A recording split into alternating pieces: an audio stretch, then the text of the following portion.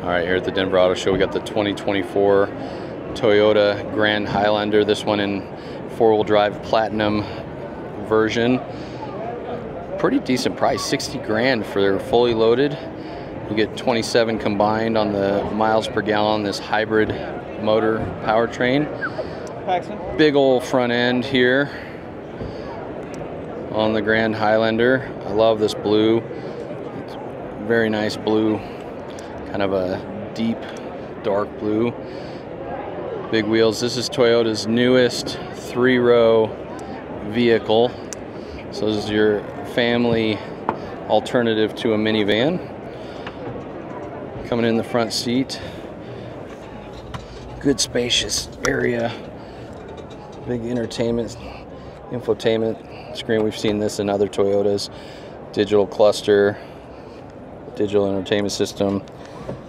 Big opening. openings, kind of a unique way of opening. This little slide trim. You've got your drive modes, mud, sand, rock, dirt, sport, whatnot. And then again, similar shifter knob to what we saw in like the Prius, the Toyota Crown, whatnot. Lots of cup space, plenty of storage, pretty deep, wireless charging. Passenger has a nice place to throw their phone or whatnot, and a charging port. Very well laid out. I like it, and lots of physical knobs, buttons for your HVAC controls.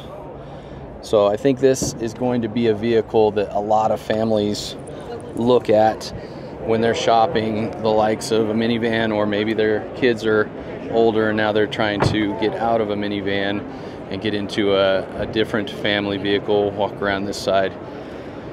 But gonna, this is gonna be a good offering. It's bigger than the Highlander. So we've got the Highlander over there. This is the next size of, this is a three row SUV. And this has the captain seats in the middle. Let's see how they feel. Yeah, these captain seats are nice.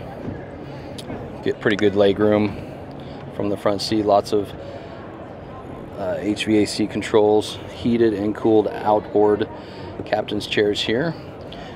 USB-C ports for each side. And then you have your back seat, which is folded down partially here. So you got a 60-40 split, it looks like. Big panoramic sunroof in the cabin. And then let's see if we can get these seats to fold so they slide forward like that. And then you can get into the back seat. Probably not a place an adult wants to spend lots of hours riding, but it, you could fit six adults in this vehicle. No problem, I think, for um, a period of time anyways. So, coming around the back. Yeah. Big storage space in the back for also stuff. Fold these seats down here on both sides. A little bit of storage underneath the back. Of course, this is where part of the battery lives for the hybrid powertrain. And then you can put the tailgate down. This one, the Platinum Edition, has a power tailgate. Nice looking rear on the vehicle. And then you just put it back up, click the button, power lifting tailgate. So I think this is going to be a, a this will be a good option for families. People looking to get a few more people than your average sedan or small SUV around town. So this is the 2024 Toyota Grand Highlander.